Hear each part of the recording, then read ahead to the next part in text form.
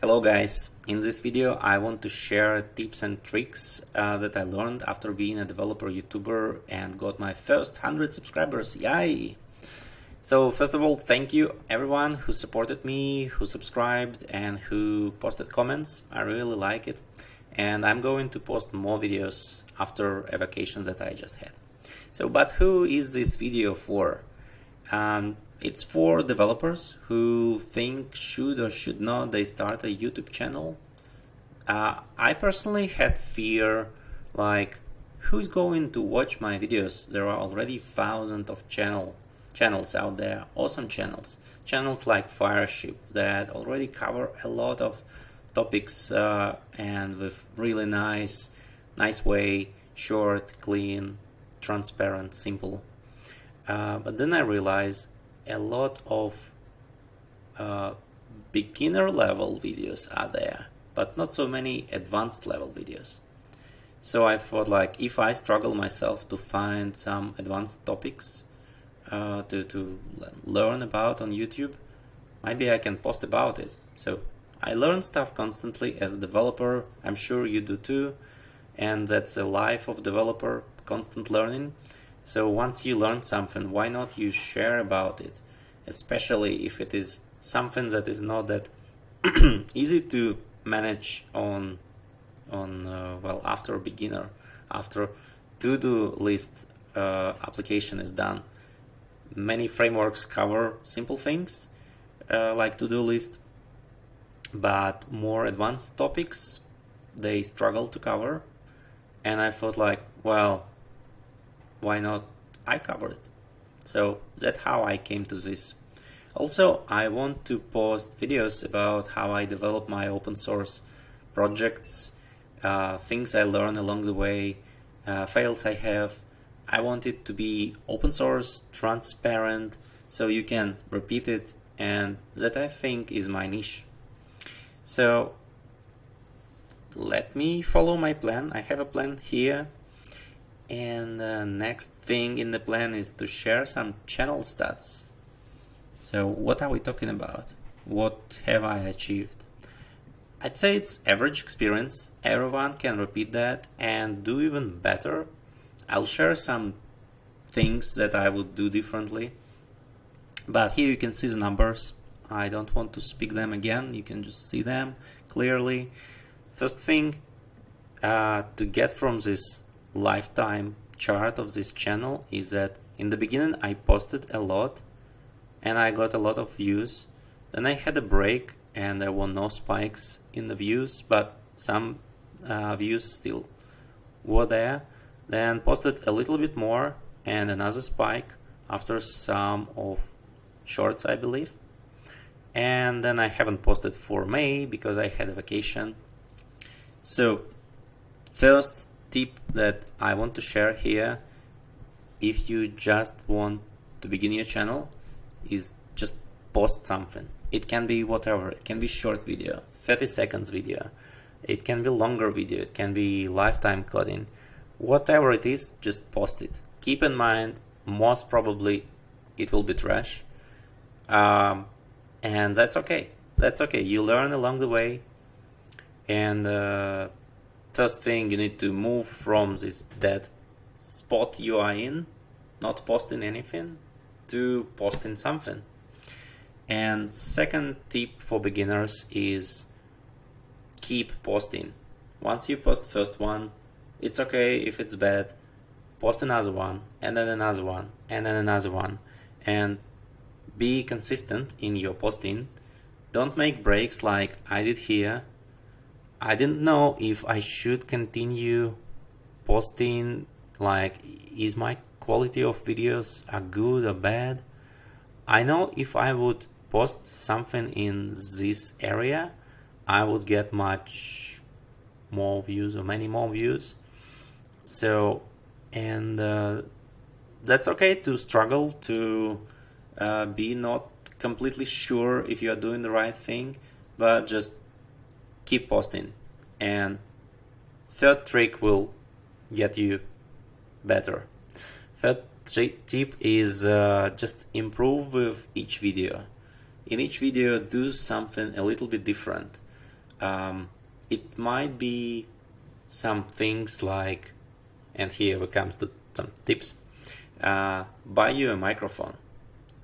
I have a MacBook Air that I record this video from and most of my videos from and it has some microphone but it's obviously not as good as some external microphone.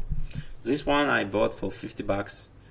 I don't want to name it, it doesn't matter. Just buy one that has good reviews, that's um, accessible to you, and that will be already much better than what MacBook has or any other laptop has. So second tip would be to avoid live coding um, videos. So I started with live coding. You can see it here. So I have 32 videos and I started with explaining and coding at the same time. But since I'm not a native speaker, I struggled to keep videos engaging, keep them entertaining. I tried to write code and explain it at the same time and I failed miserably.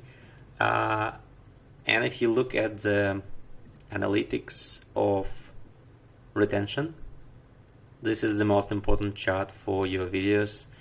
It shows how many people watched till the end. For example, here it's about 10% or till some moment in time. And uh, this is the most important chart because YouTube algorithms look at this chart and they decide should they post post your video more or less um, depends on it. If more people watch it till the end YouTube might think oh this this is probably the interesting video and I need to post it to more people. But if less people keep it till the end it will recommend it less. So shorter video do better in general, like YouTube Shorts or 100 seconds video, 2 minutes video, 5 minutes video. Um, I'd say optimal is up to 10 minutes video. Everything that is longer than 10 minutes is worse because it's harder to keep attention of the user until you do something interesting or you do a lot of cuts um, I try to avoid cuts and just record video as is. Like here, I record it right now without any cuts. I just don't want to spend time on post-processing of the video and uh, right now at this beginner stage and I want to just keep posting, keep posting. So another tip that I'd recommend is um, just grab Loom the Loom application. I have it here. Um, that allows you to do some video recording with this nice balloon here. It's not ideal for, well, let me move myself to the center because I'm speaking, or even like that. Yeah, much better. Um, it's nice to start.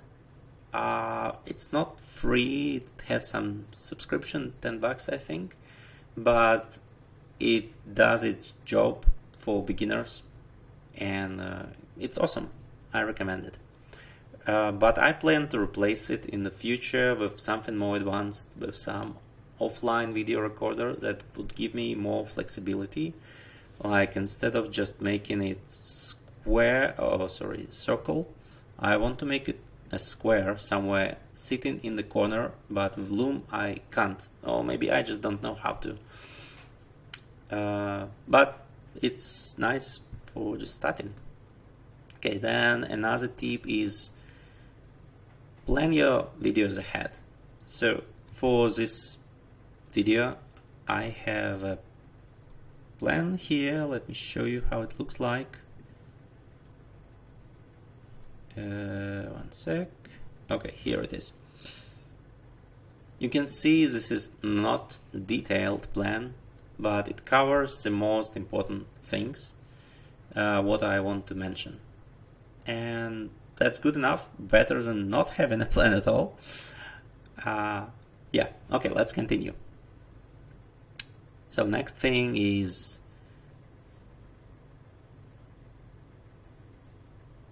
avoid such delays in your speech.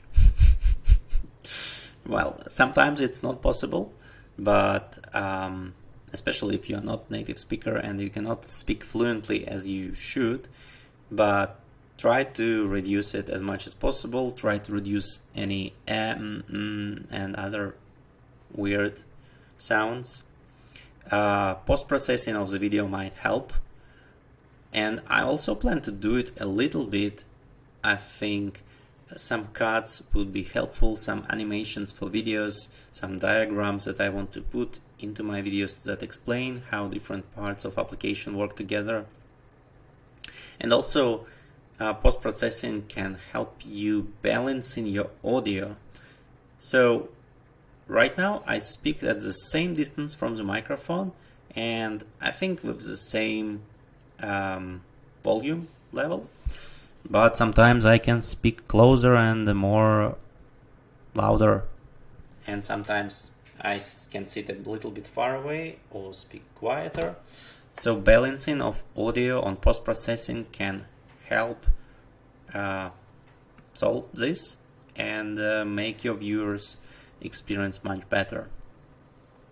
Also, I plan to add some uh, some hotkeys here in the corner uh, for my live coding videos so my viewers see what hotkeys I press. And well, I, I use a lot of hotkeys and I think it's really nice tool can make your uh, coding faster. So learning hotkeys is amazing.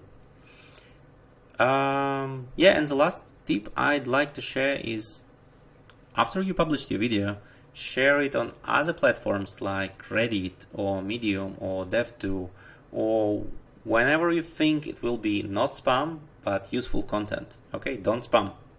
I hate spam myself, and um, I believe it's better to post it somewhere it belongs, even if you get less viewers, but more of them will convert to subscribers if it's a video for them.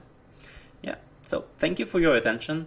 I think I'll post uh, more of such videos after I get 1000 subscribers, 10,000 subscribers, and so on. But well, let's get there first. Thank you for subscribing or liking this video. I hope it was useful. And see you again. Ciao.